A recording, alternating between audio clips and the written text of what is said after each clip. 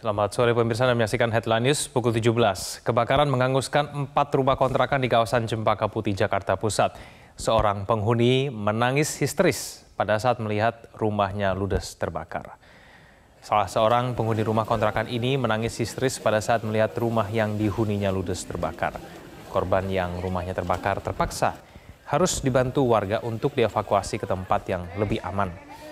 Kebakaran terjadi di Jalan Rawasari Timur, Cempaka Putih, Jakarta Pusat pada Rabu siang menghanguskan empat unit rumah kontrakan.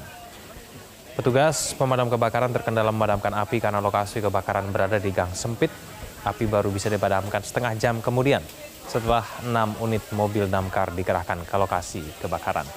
Belum diketahui pasti penyebab terjadinya kebakaran, namun api diduga berasal dari adanya korsleting listrik dari lantai dua bangunan yang terbakar.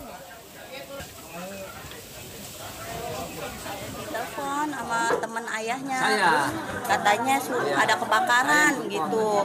Kebakaran katanya deket situ. Totonya rumah saya yang kebakar. Eh, eh, kontrakan atau apa? kontrakan. Berapa petak yang terbakar? di atas kan ada empat pintu kalau nggak salah. Eh, eh. semuanya habis. Nah, tadi pas apa ibu sampai apinya udah gede apa gimana? udah gede nggak bisa naik ke atas. Mau naik ke atas udah nggak bisa